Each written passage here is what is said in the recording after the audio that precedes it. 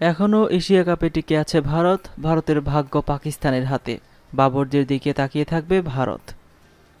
শ্রীলঙ্কার কাছে হারলেও এশিয়া কাপের ফাইনালে ওঠার আশা শেষ হয়নি ভারতের। সম্ভাবনা ক্ষীণ হলেও অঙ্কের হিসাব রোহিতদের পৌঁছে যেতেই পারেন প্রতিযোগিতার ফাইনালে। কিন্তু তা কীভাবে? পাকিস্তানের পর শ্রীলঙ্কার কাছেও হেরে এশিয়া কাপের ফাইনালে যাওয়ার পথ কঠিন করে ফেলেছে ভারত।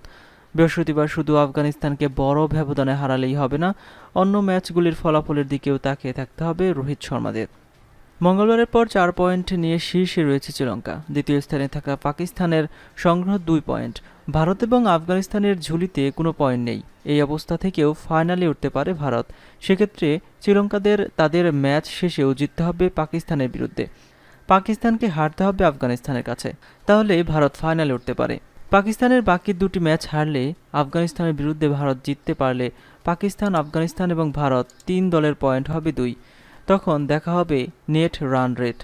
আফগানিস্তানের মতোই ভারতের সংগ্রহ পয়েন্ট না থাকলেও নেট রান রেটে এগিয়ে রয়েছে ভারত। আফগানিস্তানকে বড় ব্যবধানে হারালে সেই ব্যবধান আরও বাড়বে। অন্যদিকে পাকিস্তান বাকি দুটি ম্যাচই হারলে বাবর আজমদের নেট রান রেট খারাপ হবে। একমাত্র তখনই নেট রান রেটের বিচারে ফাইনাল খেলতে ছাড়পাত্র পাবে ভারত। বুধবার বাবর আজমরা আফগানিস্তানকে হারিয়ে দিলেই ছিটকে যাবে ভারত। জলে যাবে এশিয়া কাপ জয়ের হ্যাট্রিক সুযোগের। আজকের মতো পর্যন্তই ছিল। ভিডিওটি সম্পর্কে আপনাদের মতামত অবশ্যই কমেন্ট বক্সে কমেন্ট করে জানাবেন। ক্রিকেট বিশ্বের সর্বশেষ নিউজ পেতে আমাদের চ্যানেলটি সাবস্ক্রাইব করে পাশে থাকা বেল আইকনটিতে ক্লিক করে রাখুন। এতক্ষণ সাথে থাকার জন্য ধন্যবাদ সবাইকে।